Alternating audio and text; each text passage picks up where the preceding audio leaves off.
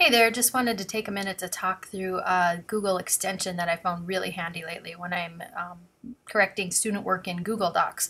It's called Talk and Comment, and I've in the past I've talked a little bit about voice commenting with Kaizena, and Kaizena is a great tool too, but it's gotten really kind of cumbersome. And Talk and Comment is really simple to use once it's installed. And you can see I already have it added to Chrome. I will send you the URL um, directly to here and you can just click Add to Chrome. And when it's installed, it will just show up here like this in your you know extension menu but just want to show you how it works. So uh, if this is a student's essay, normally when I give feedback, it's always a good idea to go into suggesting mode so that when you do make a change, it is tracked over here along the side. Now, a student just has to either accept the change that I've made or they can reject it.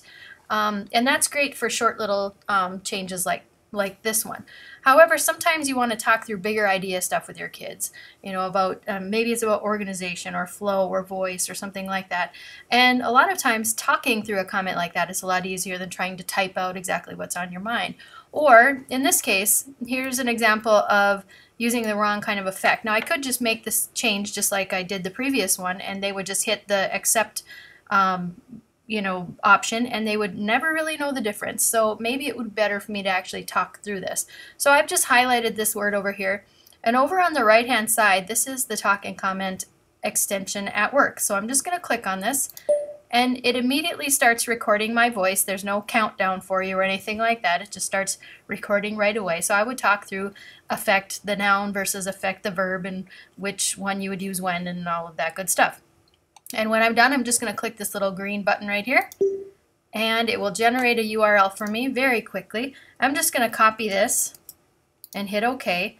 And now down here, uh, I'll go back to Effect. And you'll note that in Google Docs now, I don't have to go back up to Insert Comment like I used to have to in the past. Now, whenever you highlight something, it gives you the option to add a comment right here. So I'm just going to paste in that URL and hit comment. And now I have a voice note and it immediately starts and when students are done acting on my advice, they can just hit the resolve button to get, get rid of it. You, this also works in Google Slides, so anytime you want to just highlight something, maybe you want to talk about the content of the slide or um, the design of the slide or whatever, but you can go up to Insert and comment here as well, and you could paste in a URL. Um, it would be a different one, obviously, but you have the talk and comment feature right here, so you can do the same thing um, in Google Slides. Um, hopefully it's as useful for you as it, as it has been for me.